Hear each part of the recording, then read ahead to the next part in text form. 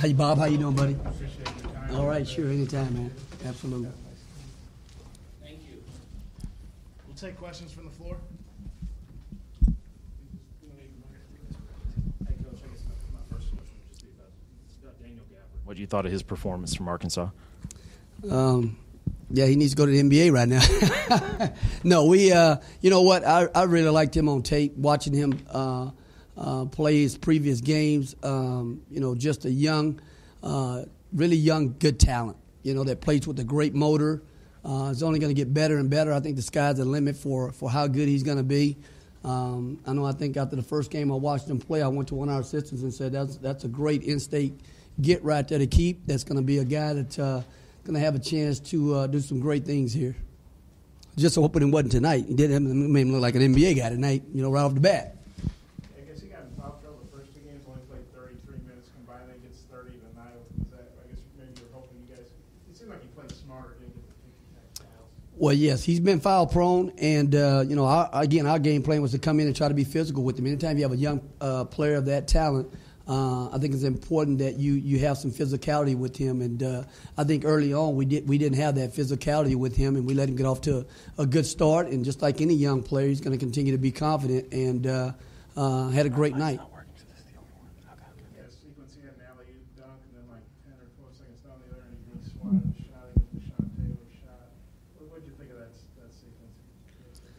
He's a good young talent. I mean, I've been around some really good players myself. I've been blessed to be around some really good young guys that, that were agile and that can move the way he can move right now. Um, you know, Lamarcus Aldridge was a guy that we had at Texas that uh, uh, moved that way. He doesn't shoot it the way and, and the way you know Lamarcus shoots it, but Lamarcus didn't shoot it that way as a freshman either. You know, and stuff. So, you know, going into his sophomore year, he developed, a, you know, more of a shooting range and things of that nature. But just athleticism, affecting the game on both ends of the floor, and, and being a guy that can that can get up and down, he's gonna he's gonna be scary when he puts it all together and gets a gets a full year in the weight room and things of that nature. There, he's a, he's a good young talent.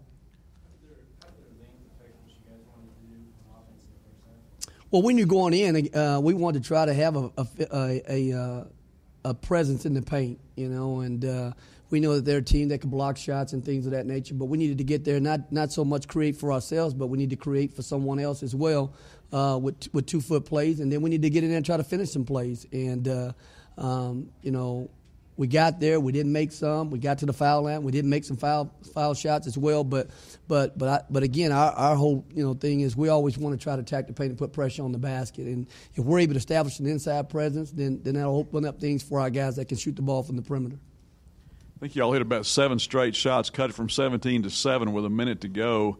Uh, were you wanting to get a foul sooner than you did, or were you going for the steal there with, with a minute left? Well, with the minute to go, we wanted to get it. We wanted to get a uh, a little bit of their medicine, a little bit, a little run and jump, and uh, see if we couldn't couldn't uh, possibly get a get a turnover of some type. Uh, and if we if we couldn't, then we needed to foul and put them on the line.